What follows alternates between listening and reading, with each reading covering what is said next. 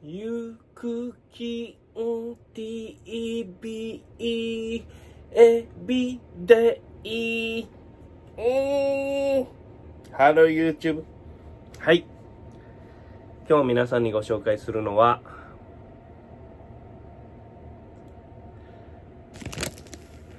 マルちゃんの生ラーメン味噌です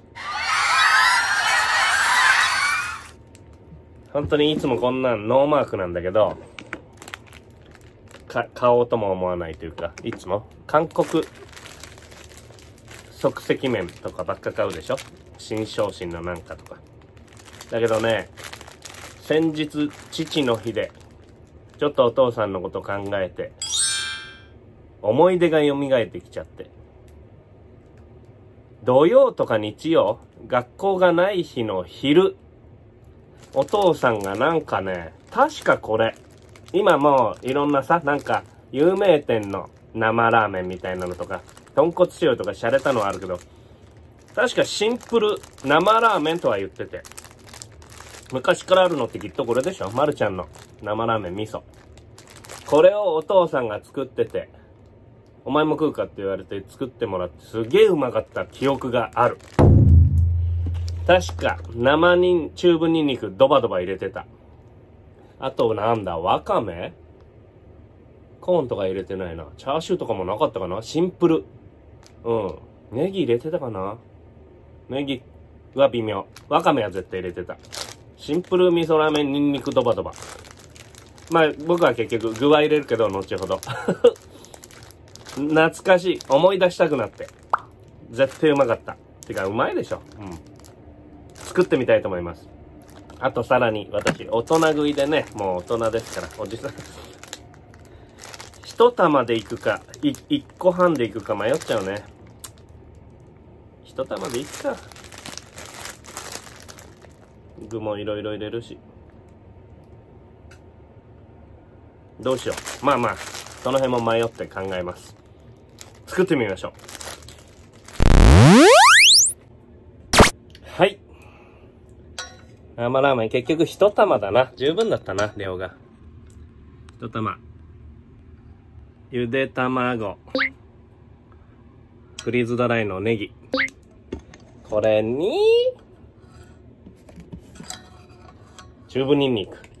これ入れれば、懐かしのお父さんの味になるんじゃない？これぐらい入れちゃおう。ニンニクなんて、入れたら入れた分うめえだよ。さ、ただね、ちょっとね、もしかしたら失敗してるかもしんない。お湯入れすぎたんだよ、あのスープ用の。薄いかも。薄かったらどうしよう。醤油とか足すのかな。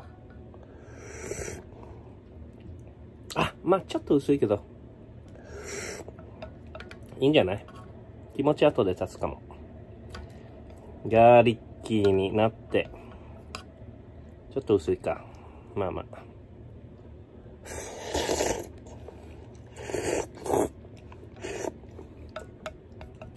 うん。ちょっと薄いか。なんか足しちゃおう。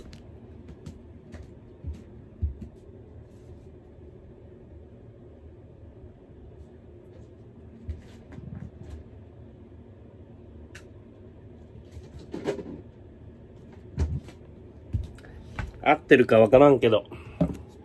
ウェイパー足しゃ。なんかいいんじゃない？知らんけど。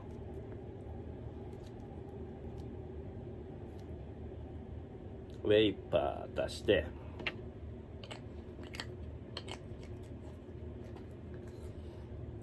めんつゆ。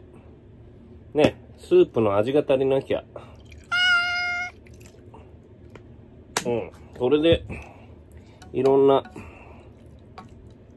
具合は良くなるんじゃないかな。知らんけど。それね、純正の味噌味じゃなくなったけどね。もういいだよ。お湯入れすぎた、まず僕が悪い。それは反省として受け止めて、前向きに考えなきゃいけないんだから。さあ、まあまあ混ざったぞ。いったろかいな。うん、全然一玉でよかったな。二玉だったら死んでた。うん。もうね、味噌ラーメンかちょっとわかんない感じ。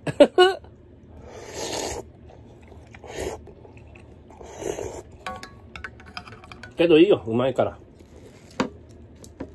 一番の目標である、お父さんの味を、ちょっと遠くなっちゃった。いいよ。かつて、豚キムチ炒め、余らしたやつ、具入れて、さらにいっぱい辛くすりゃもう勝ちよ。お父さんもそう、辛いの入れてたな。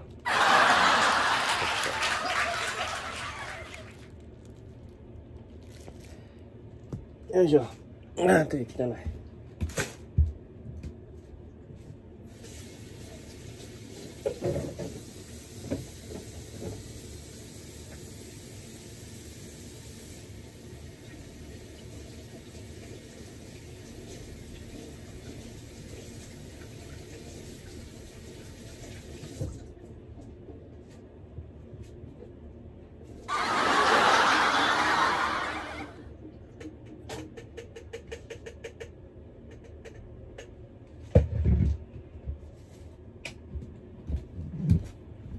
よし。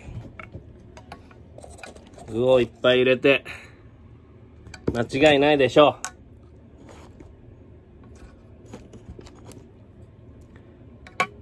う。ちょっとな。本当に味噌味から遠ざかっちゃったな。後悔してるぐらい。後悔してたんかい。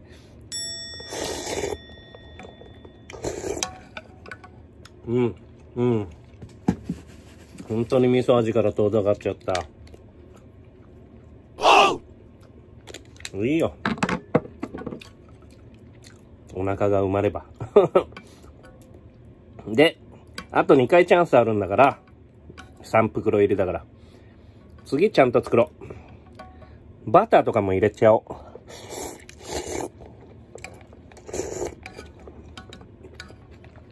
う。うん。うめえ。いいんじゃない？